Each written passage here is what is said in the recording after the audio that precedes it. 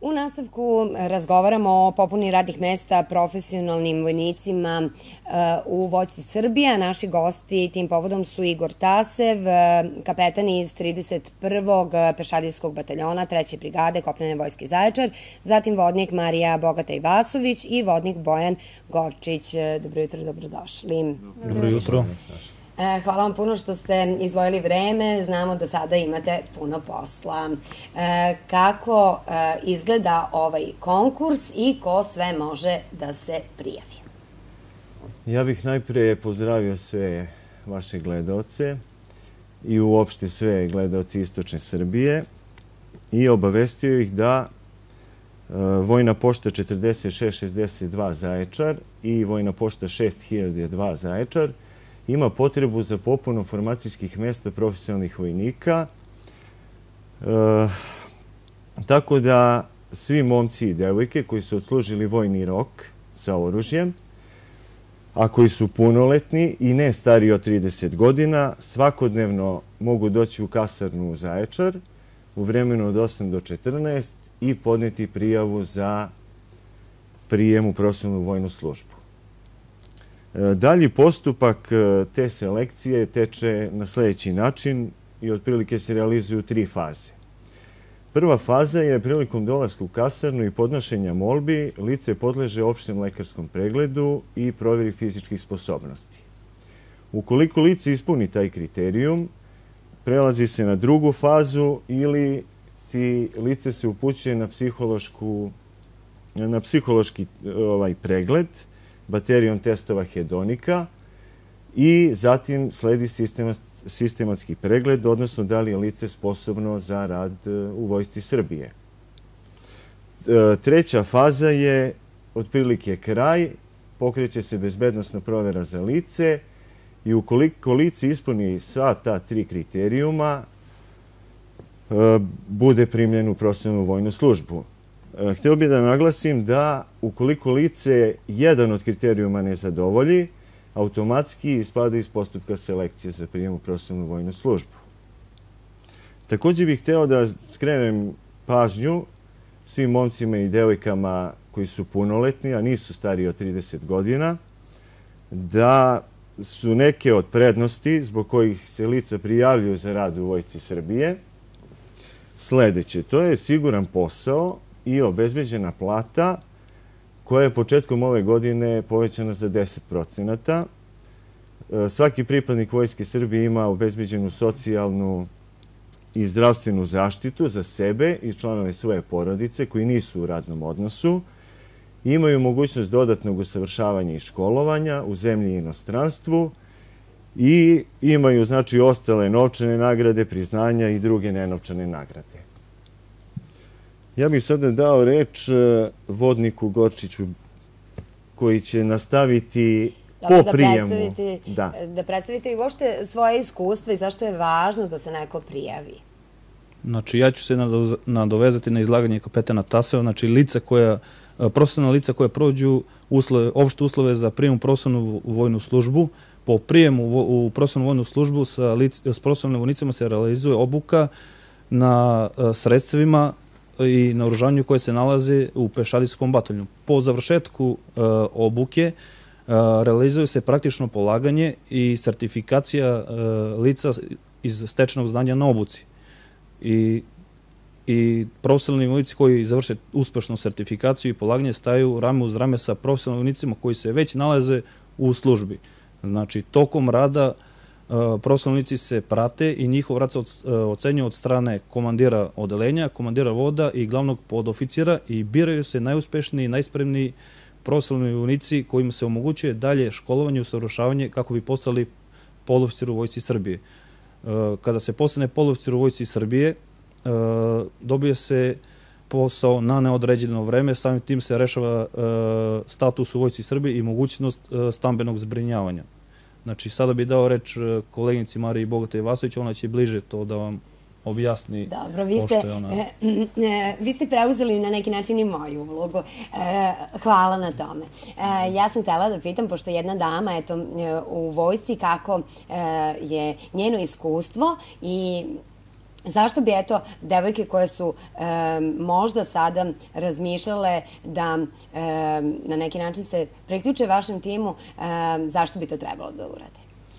Pre svega, ja sam komandir Sreljačkog odljenja u prvoj pešadijskoj četi, 31. pešadijskog bataljona, treće brigade Kopnene vojske.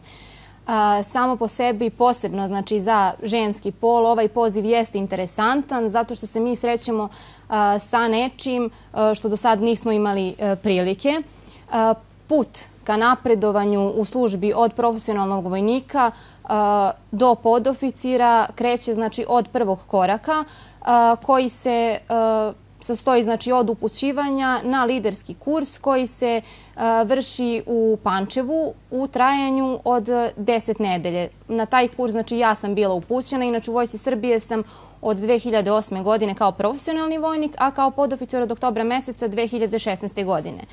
Nakon završenog uspešnog liderskog kursa, profesionalni vojnik vraća se u jedinicu gde nastavlja dalje sa radom i prati se, predpostavljene starešine, prate njegov rad.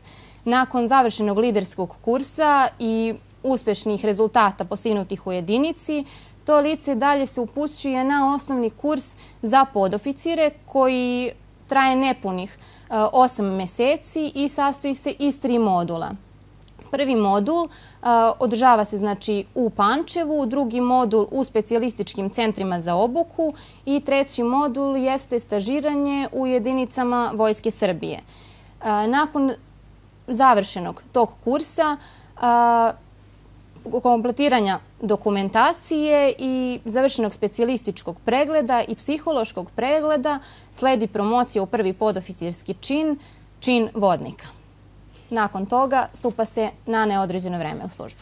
I dobro, šta zapravo podrazumeva posao profesionalnog vojnika? E, ja ću odgovoriti na to pitanje.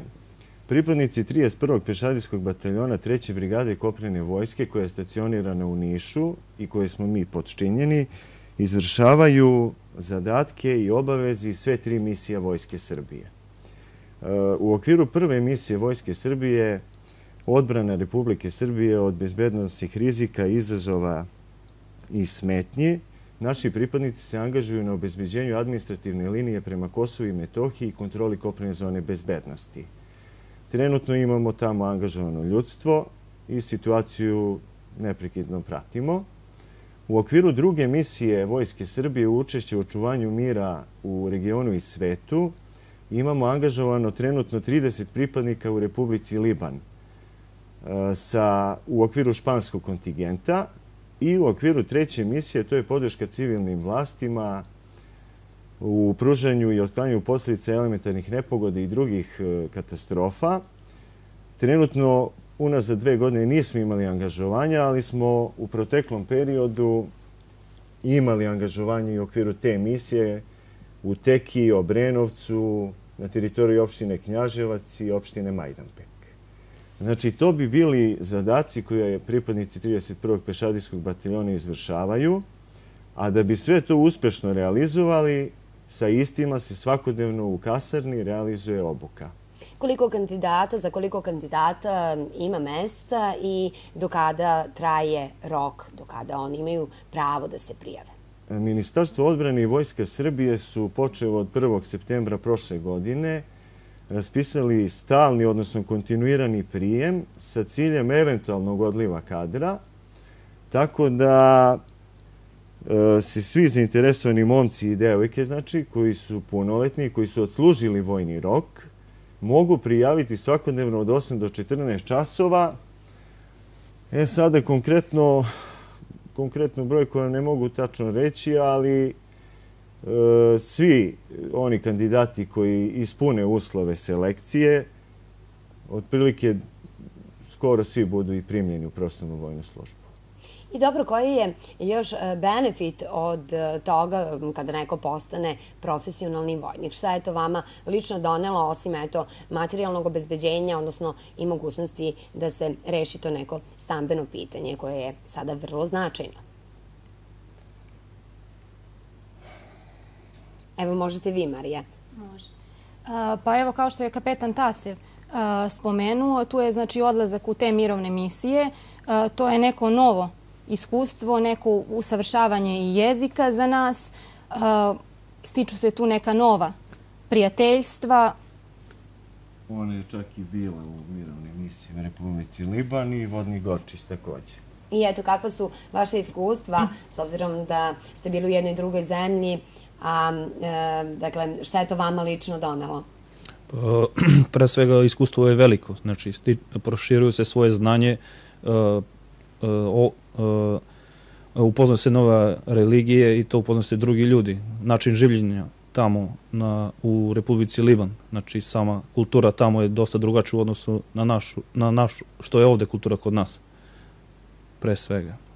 I sigurno da je ovo prilika da eh, eto i pozovete sve mlade ljude da se priključe vašim redovima. Čuli smo dakle koji su benefiti od toga, a eh, naravno eh, čuli smo i kakvi su uslovi. Pretpostavljam da profesionalna vojska dakle, zahteve jedan ozbiljan rad i da ste vi vrlo ozbiljno shvatili svoje zadatke. Tako je, da. I parola naša je ko sme taj može, ko ne zna za strah taj ide dalje. U principu. E, to je, dakle, eto, i neka bude neka naša poruka na kraju ovog razgovora za sve one koji žele da se prijeve. Čuli smo kakvi su uslovi, da, da li postoji mogućnost da se negde bliže informišu? E, mogu se informisati na sajtu Ministarstva odbrane i Vojske Srbije na adresi www.mod.gov.rs ili ti Ministarstvo odbrane, odnosno Vojska Srbije, gde tačno imaju sve ovo što smo mi sada saopštili. I ovom prilikom bih još naglasio da i pozvao mladiće i devojke koji nisu odslužili vojni rok, a želeli bi da rade u vojsci, kao jedan od osnovnih preduslova je da su odslužili vojni rok sa oružjem, da se prijave u nadležnim regionalnim centrima Ministarstva odbrane na teritoriji na kojoj žive, e, jer naša brigada, treća brigada Koprine vojske je locirana na više lokacija. E, tako da dobra strana tog stalnog, odnosno kontinuiranog poziva jeste to što e, je u skoro svim vojnim poštama otvoren taj prijem. Tako da lice koji izbora, njemu je najbliža kasarna u Zaječaru. Lice iz Niša će se prijaviti u Nišu i tako dalje i tako dalje. Dobro, hvala vam puno što ste bili naši gosti ovog jutra. Nadamo se da ćete imati puno kandidata i da će selekcija eto, odabrati svakako najbolje. Hvala, hvala vam još jednom. Hvala. hvala.